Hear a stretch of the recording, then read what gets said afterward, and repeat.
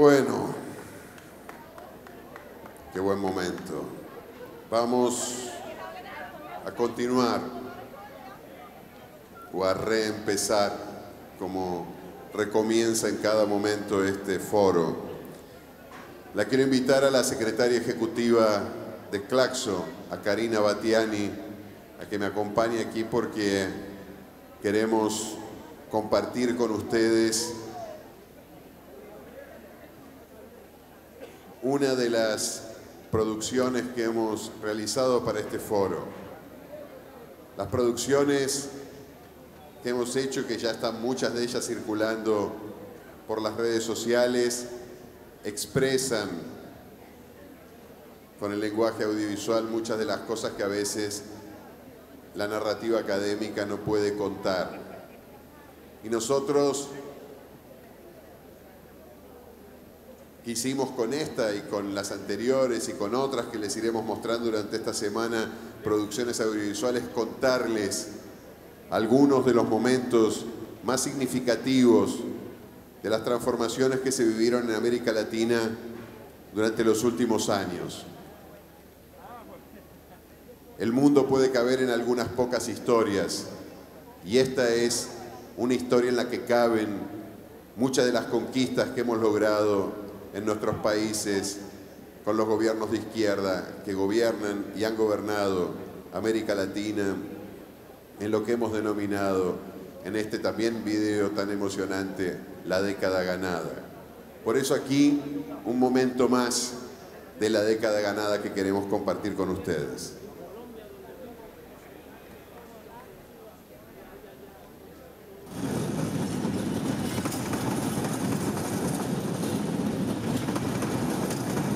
Nací dentro del campo, viví toda la vida dentro del campo y bueno, desde que me conozco he estado trabajando en el área rural ayudando a mis padres cuando chica y, ahora acá en Punta de Maciel. Lo que pasa que a mí, te juro que recordar la parte de gurisa chica después de lo que viví es dificilísimo. Trato de no acordarme esa parte. La primera vez que se lauda la ley de ocho horas, estábamos ahí en la discrepancia que hacíamos 10, 12 horas, entonces yo cuando reclamé, automáticamente, sin decirme nada, llegaron tres camionetas, Goñi, Sarandí Grande, todas a sacarnos. Era un decreto de ley del año 78 donde decía que la policía puede reglamentar un desalojo rural.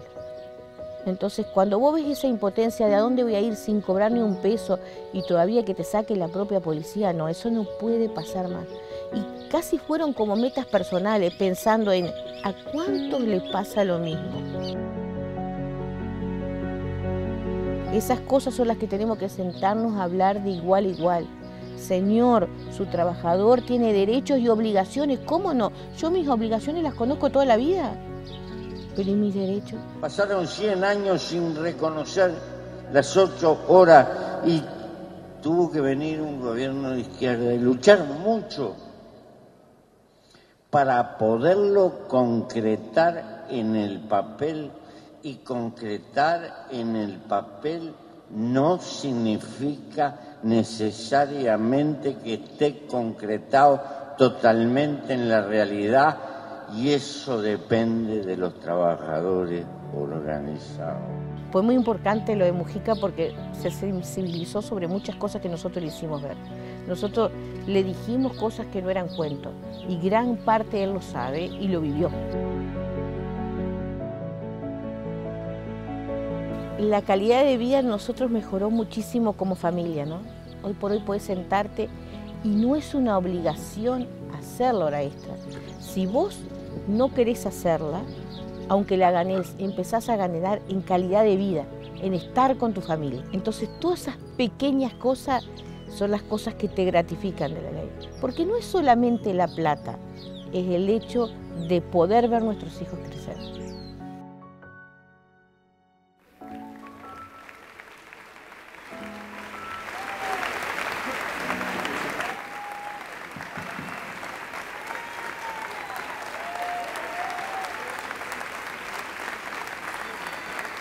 Esta es María y este es Evelio, su hijo. Con ellos queremos homenajear a todas, a todos los trabajadores rurales de América Latina.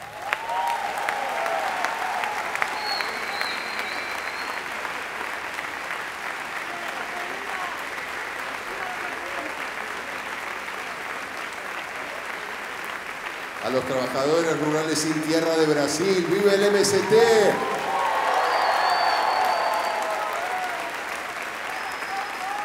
A los trabajadores que luchan por la defensa de la tierra en Colombia y por la paz.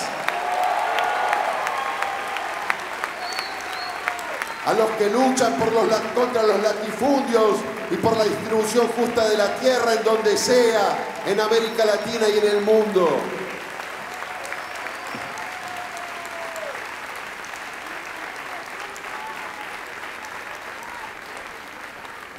Hoy le dijimos, pero no nos creyó a María que era un intelectual más que estaba participando del Foro Mundial del Pensamiento Crítico.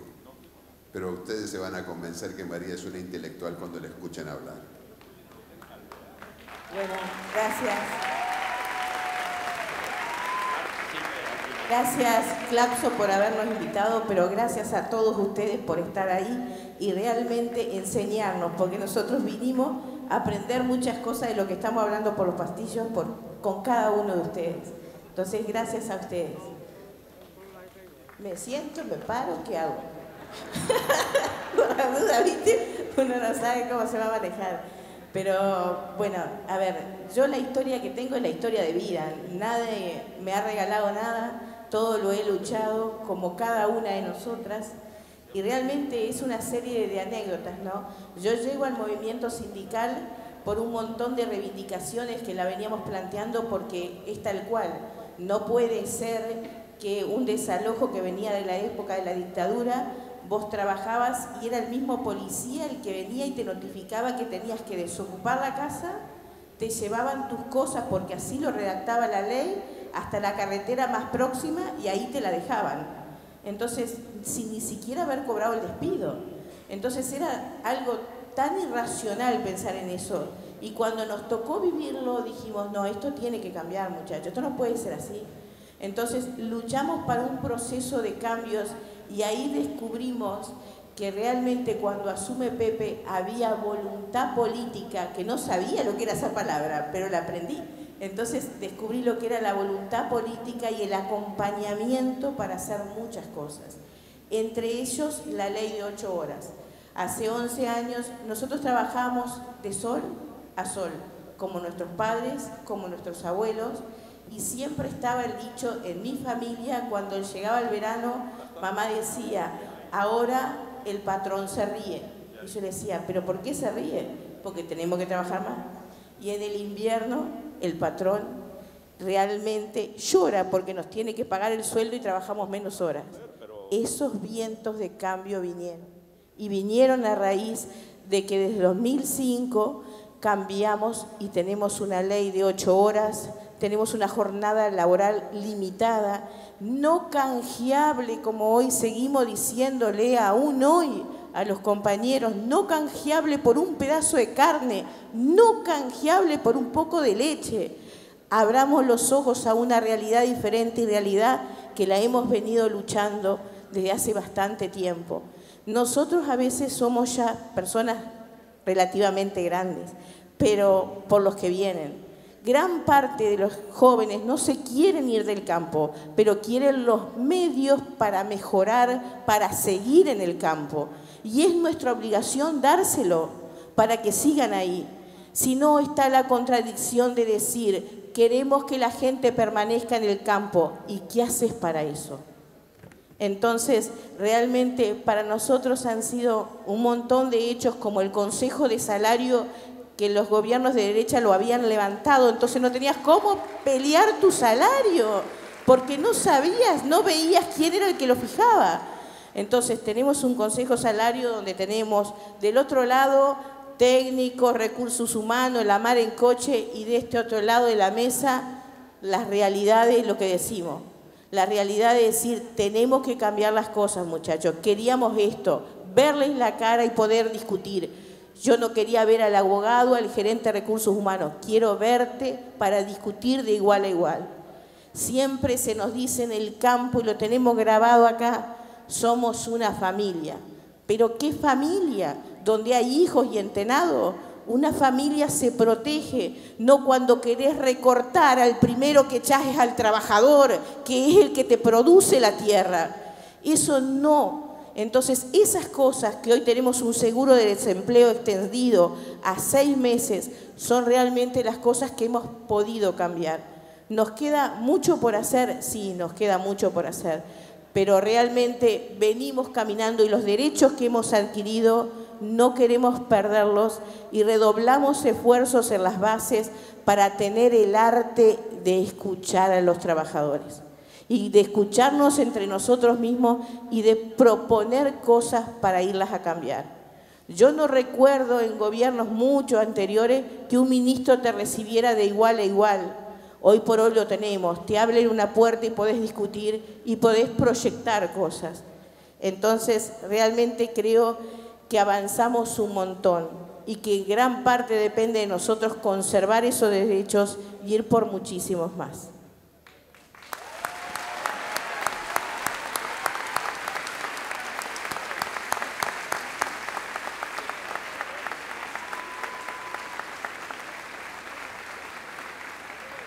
Esto es una de las tantas conquistas de los gobiernos del Frente Amplio en Uruguay.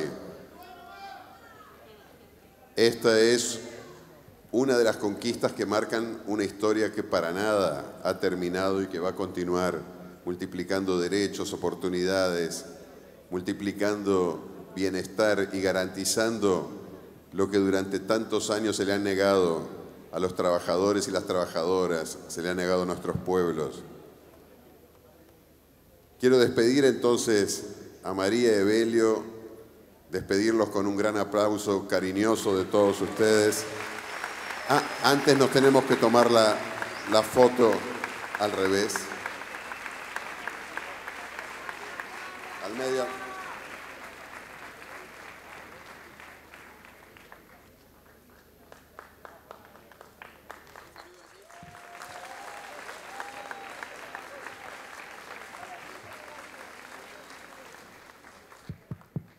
Y bueno, me ha tocado durante todos estos días y gracias a Claxo durante los últimos seis años pasar momentos muy buenos y dando excelentes noticias, que en general con las cuales no tengo absolutamente nada que ver porque quien las organiza y las hace realidad son otros. Pero también me toca dar algunas noticias que no son tan buenas. Eh, Pepe Mujica no va a venir hoy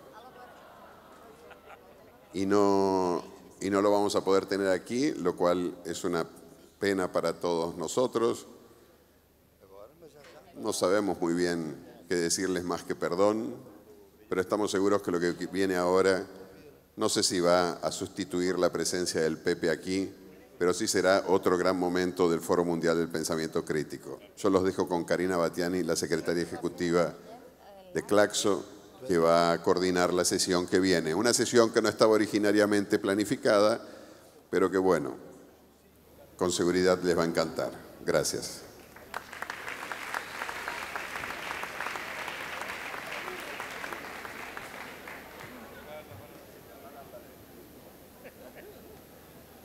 Bueno, efectivamente vamos a dar inicio al panel de los desafíos de la democracia. Para eso vamos a invitar a los tres colegas que integran el panel. Por favor, pasen, así los presento. Ignacio Ramonet.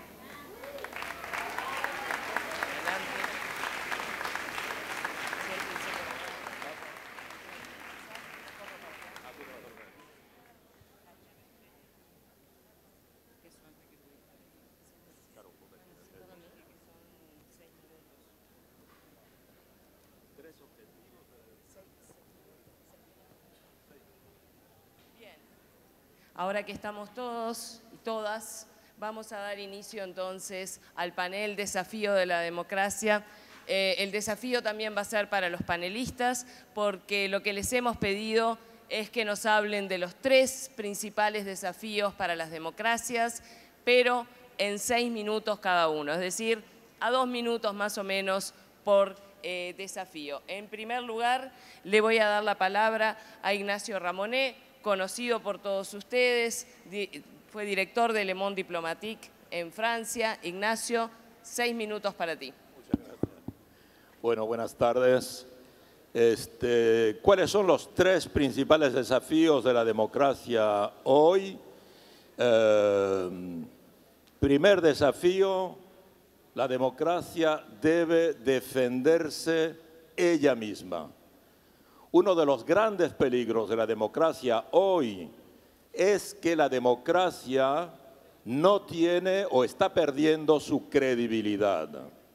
Cuando se ve lo que acaba de ocurrir en Brasil o lo que ocurrió en Argentina, o lo que ocurrió en Estados Unidos, lo que pasó en Italia hace poco, lo que está pasando en algunos países europeos, donde los ciudadanos finalmente no creen en la democracia y prefieren votar, ya sea porque sinceramente lo piensan, ya sea porque han sido manipulados, pero prefieren votar por personalidades que se caracterizan por no ser democráticas, nos damos cuenta de que la democracia hoy en sí mismo está en peligro. La democracia, muchas, sobre todo las nuevas generaciones, no creen en ella. Muchos dirigentes políticos se tomaron la democracia con demasiada superficialidad y el resultado es que hay hoy día una abandono del entusiasmo en favor de la democracia. En muchos países, cuando se hacen encuestas hoy día en torno a saber si eh, tal persona estaría dispuesta a defender la democracia por encima de cualquier sistema político, la gente mayoritariamente entre los jóvenes contesta que no, que lo más importante es ese sistema político primero, ¿qué haría por mí? si el sistema político me garantiza empleo, si el sistema político me garantiza seguridad, si el sistema político me garantiza una serie de ventajas que yo considero que necesito en el ámbito moral, ciudadano, entonces prefiero ese sistema, aunque no sea democrático, que el sistema democrático. Luego, primer desafío, la democracia debe defenderse a sí misma.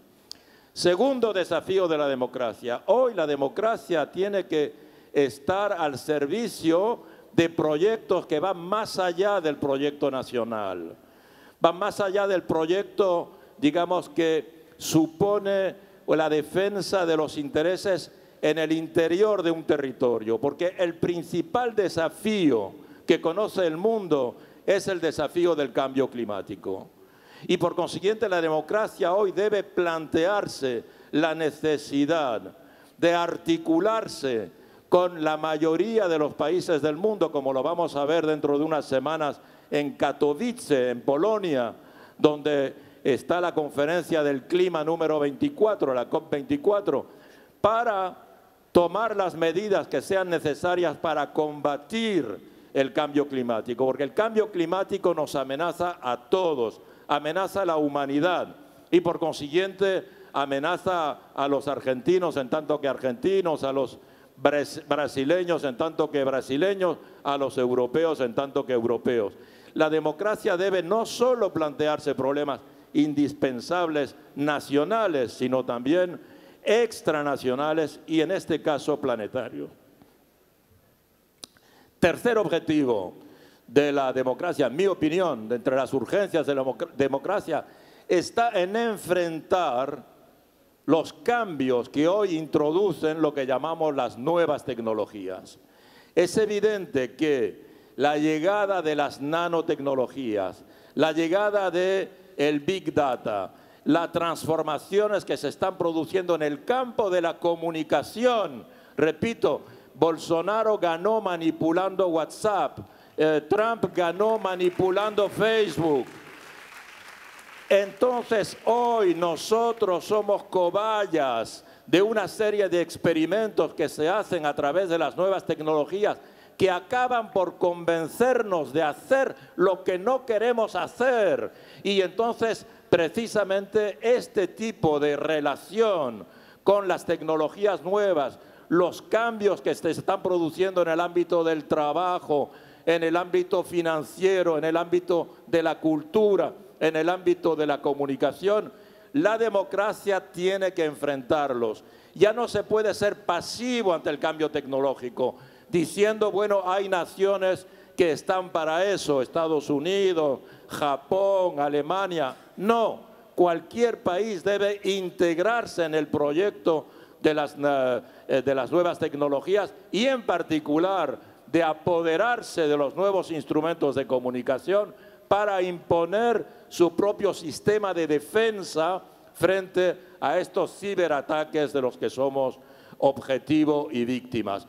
En estos tres objetivos pasa, en mi opinión, pasa por estos tres objetivos, pasa la salvación de la democracia. Muchas gracias. Muchas gracias. Fantástico los tres objetivos que nos planteaste y además quedó un minuto a tu favor. Así que seguimos adelante ahora con Carol Proner, secretaria internacional de Juristas por la Democracia de Brasil. Carol. Gracias, Karina. Un placer estar acá, escuchar a Ramonet, a todas las personas tengo el desafío de seis minutos para hablar desde el punto de vista jurídico. Lo voy a intentar, había hecho seis puntos, pero creo que se puede resumir en tres. La guerra jurídica que vivimos en América Latina. Creo que para reemplazar la democracia, recuperar la democracia, lo primero es percibir que desde las transiciones en América Latina, en particular en Brasil, hemos permitido que el sistema de justicia haya funcionado apartado de las democracias y apartado del control popular. La primera lección, que es una dura lección para nosotros, es confiar en el sistema de justicia independiente, en las indicaciones de jueces, en la autonomía del Ministerio Público, de la Fiscalía, en los altos salarios y las determinaciones autónomas que han generado un sistema de justicia de las élites con falta total de control democrático y de control popular. Entonces, esa oportunidad que el sistema produce como consecuencia es la capacidad de aprovechar de esta nuestra debilidad, de confiar en la abstracción del sistema jurídico para entrenar agentes del sistema de justicia, o bien entrenando directamente en escuelas internacionales, o bien indiretamente por um sistema de élites, de corporações e de ideologia de derechas. Essa é a primeira lição que duramente passamos a aprender no sistema brasileiro, sobretudo. A segunda lição é que hemos subestimado a capacidade do poder de apropriar-se de nossos discursos en, contra de nosotros mesmos. A corrupção sistémica em América Latina, o sistema de justiça, é considerado em termos simbólicos em contra de nosotros mesmos, como um mal que corrosiona as democracias, Mas não é um mal provocado de forma sistémica, sino um mal do progresismo, um mal das esquerdas, izquierdas, mal do populismo de izquierdas. Querem ¿no? criar uma situação simbólica de que a corrupção analógicamente, igual que o terrorismo, igual que os crímenes internacionais, produzem as quebras democráticas crímenes que lesam as democracias e las e a própria humanidade, como se fosse um crime de lesa humanidade. Então, nos han roubado o discurso, o discurso de los crímenes de guerra, o discurso de los crímenes mais graves para apropriar-se e atacar-nos com este discurso de que os que cometem a corrupção são as esquerdas e o progressismo latino-americano. E hemos subestimado também as teorias da conspiração. O lawfare é parte de la guerra híbrida, es una parte central, es una parte fundamental, pero es parte de un sistema que ataca geopolíticamente, que ataca geoeconomicamente. Es un lawfare neoliberal, no es solo un lawfare jurídico. Y por fin, tenemos que comprender que la guerra híbrida, que la guerra jurídica es espantosamente e dramaticamente assimétrica em los medios e em los métodos de combate. Enquanto nós outros los países estamos defendendo nossos líderes, nossos movimentos sociais, nossos direitos com a legislação nacional, com a Constituição, com o Código Penal, com a presunção de inocência, com as garantias legais, eles nos estão atacando com esse simbolismo transnacional, com a universalidade de los discursos de terrorismo, de la corrupção transnacional, de las organizações criminais e nos querem transformar em criminales contra a humanidade, contra as democracias. Então, o arsenal jurídico é bastante desigual, é bastante distinto. El juego es implacable porque ellos controlan el sistema de justicia de los estados, pero las armas no son el derecho nacional, no son nuestras constituciones, sino que son legislación, simbolismo, que va más allá de las naciones y que tiene todo que ver con las guerras híbridas. Por fin, hay optimismo en ese sentido, bastante implacable jurídicamente, recobrando un poco lo que, lo que decía García Linera a poco se vamos a um largo de repliegue do progressismo ou se temos uh, uma expectativa de, de reemplazar a democracia, tomar o poder e fazer uma reforma do poder judicial. Eu creio que é verdade que sim, estamos em uma repetição e eles vão em modelos muito fossilizados e contraditórios e enfermiços. Pero há uma novidade que nos ajuda muito.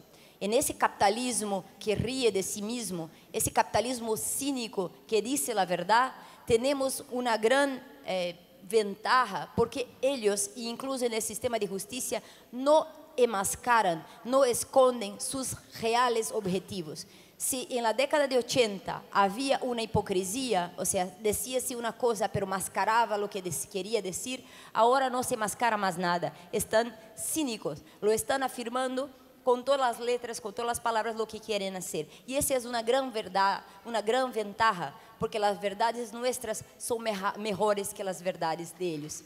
Muitas graças.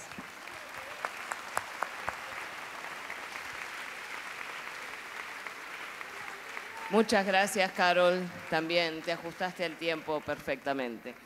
Le damos ahora la palabra a Jussi Paskasvita, profesor e investigador de la Universidad de Helsinki de Finlandia. Te escuchamos.